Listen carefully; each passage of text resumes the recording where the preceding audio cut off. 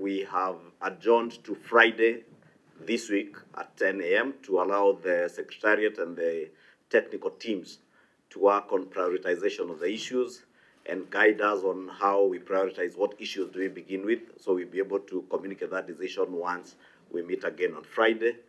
On the question of whether we are able to stop the selection panel, we are not writing to them to uh, stop doing their work. It's just to take uh, what has been described by the Honorable Eugene Wamalwa in our meeting as judicial notice of the ongoings of this national dialogue team. Therefore, even as they progress their work, then they take note that it's part of the issues that uh, we are engaging on. And uh, for sure, I am certain uh, when we begin to engage with stakeholders, those are among the stakeholders uh, most likely that we'll be engaging with.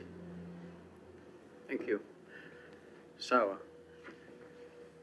On the statement of issues, I think uh, you'll be able to see those issues once we send the document. It's uh, one of the documents that we'll be uh, uh, giving to you to relate to the public. This is wonderful work, and uh, we, we, we're going to move very, very fast.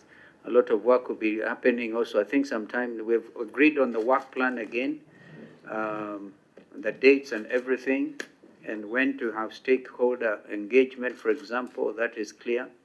And so we're ready to sign, we're ready to go. A lot more work remains to be done. And therefore, when, when we call on uh, stakeholders, um, I'm sure every Kenyan will know their stakeholders. Thank you.